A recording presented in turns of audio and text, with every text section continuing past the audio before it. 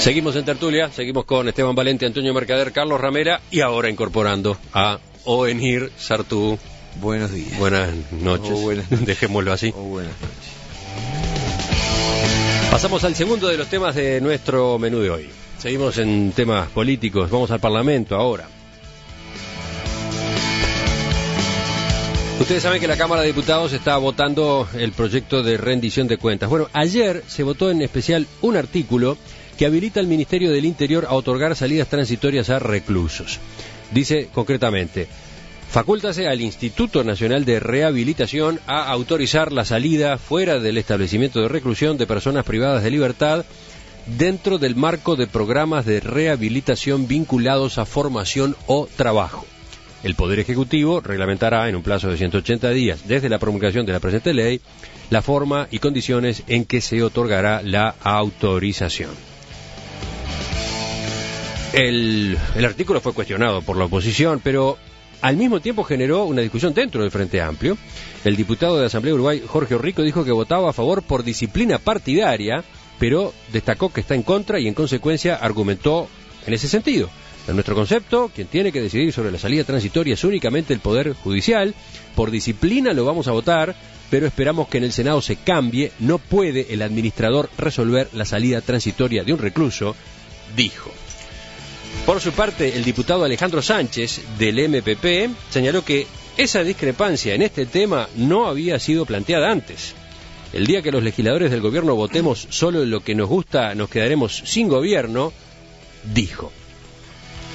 Pero en cuanto a los argumentos, y votando a favor de lo que proponía el Poder Ejecutivo, el diputado del MPP dijo, cuando se viola la ley y el derecho, interviene la justicia conforme a hechos objetivos. Pero la justicia está preparada para discutir sobre los procesos de rehabilitación. ¿Puede decidir sobre la rehabilitación de una persona? Se preguntó el diputado Sánchez. ¿Qué dicen ustedes? Yo Un a- minuto per cápita. Yo, muy brevemente, sobre el fondo del tema de que tiene que haber una agilitación de los procesos de, eh, de todo el mecanismo de rehabilitación. Voy a decirlo al revés.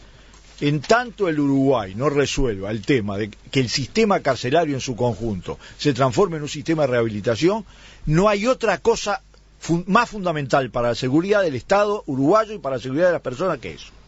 Por lo tanto, todo lo que sirva para eh, agilitarlo está bien. Pero eso no puede ser un mecanismo para sobrepasar un concepto. Eso tiene que estar en manos de la justicia. ¿Hay que hacerlo más rápido? Hay que hacerlo más rápido. Así como funciona ahora, no funciona. O funciona mal. Hay que hacerlo eh, con más asesoramiento, hay que hacerlo con más asesoramiento. Pero es la justicia la que lo tiene que hacer. No lo tiene que hacer el Poder Administrativo. Porque eso implica, no estoy de acuerdo con la observación del presidente de la Suprema Corte, que es un problema de corrupción, sino es- un problema de competencia como filosofía del derecho. Y siempre la justicia está viendo los temas de la, de la rehabilitación. Por algo las libertades adelantadas. Es un tema delicado, eh, está nada menos que la seguridad pública en juego, ¿no? Y creo que eh, acá es un problema de coordinación. Creo que las dos partes intervienen. Quienes están en contacto con los reclusos, quienes conocen su evolución, su vida, su carácter, su conducta, tienen que dar su opinión. Estoy de y son asesores esenciales. Pero creo que tiene que pasar por el Poder Judicial. Creo que deben intervenir las dos partes. No es que uno excluya al otro y si interviene el juez no interviene el Instituto de Rehabilitación. No, intervienen los dos. Como creo que ocurre en muchos países. Es decir, donde lo hemos visto en las películas es muy común. El preso que se presenta, una especie de tribunal examinador que está compuesto de abogados, de ex magistrados y demás, que analiza su carrera, su conducta y demás, y después es la justicia la que decreta esa libertad y la que controla. Pero lo que no podemos es pensar que por separado el Instituto de Rehabilitación decida por sí y ante sí a quiénes libera, a qué, a qué reclusos manda a la calle porque considera rehabilitados. Tiene que haber una instancia judicial también. O sea que yo creo que No es estamos hablando de libertades, ¿no? no, Estamos hablando de que se autorice permiso. la salida del establecimiento Sí, a efectos de participar en programas de rehabilitación vinculados con formación o trabajo. debí decir permisos. Carlos, Yo quiero, creo que sobre este tema hay que ser muy claro. Primero, que el sistema penal o el procedimiento penal y todo lo que lo vincula, incluido el sistema carcelario uruguayo, de- del Uruguay, está totalmente colapsado y es realmente vergonzoso hace muchos años. Exactamente. En el año 2001, el presidente Valle le encargó al doctor Gonzalo Fernández, en ese momento asesor del presidente Vázquez, y a mí, en ese momento asesor del presidente Valle, una reforma completa del sistema penal. Se hizo un proyecto, que fue presentado a todos los catedráticos y expertos en la materia que había a disposición, que lo compartieron plenamente, pero nunca avanzó. Unos no lo querían porque venía del asesor de Gonzalo eh, de Tabaré Vázquez. Otro no lo querían porque venía del asesor del doctor Valle. Todos en general no lo querían porque venía de personas que eran consideradas outsiders. Y el proyecto durmió en un cajón hasta hoy. Pero lo cierto es que tenemos un sistema perverso. Para empezar, y es una vergüenza, hay gente detenida que no tiene sentencia. Eso en ningún 60%. país. 60%. Eso en ningún país civilizado debería pasar. La gente acá va presa con el auto de procesamiento donde todavía es inocente y se presume eventualmente que puede haber cometido un delito. Una aberración jurídica para un Estado democrático. Y no es de ahora, esto es de hace 40 o 50 años. Segundo, es imperioso mejorar los mecanismos de rehabilitación. Y sobre el punto central que se plantea acá, yo creo que la verdad está en el término medio. Yo no dudo que Estoy la justicia tiene que seguir interviniendo porque es una garantía indispensable, pero que también en este tipo de permisos y, y autorizaciones salidas, la parte técnica debe jugar un rol preponderante y fundamental. Acá no es uno u otro, son los dos complementándose. ¿O en ir? Sí, yo creo que hay muchísimas razones por las cuales eh, esta- este proyecto es un verdadero disparate, una, una cosa grave. Eh, el primero es que, por- como principio, la privación de libertad de una persona es algo muy complicado que no debe, es decir, solo puede hacerse en base a un procedimiento judicial, en base, es decir, a un mecanismo que le dé ciertas garantías. Eh, este, que una, alguien que no sea el Poder Judicial pase a resolver cuándo sale o cuándo no sale, es decir, cuándo logra salir de la cárcel o no, este, ya sea transitorio, eh, eh, transitoriamente, es una, es una cosa, me, parece verdaderamente grave. Después está el otro problema, es decir, hablar de que el, el, el Poder Judicial no está capacitado para medir la rehabilitación y, y el sistema penal, el sistema penitenciario está Por favor, si, si debería ser su función este, reeducar y lo último que hace es reeducar, o sea que tampoco se le ve ninguna capacitación para, para esa tarea.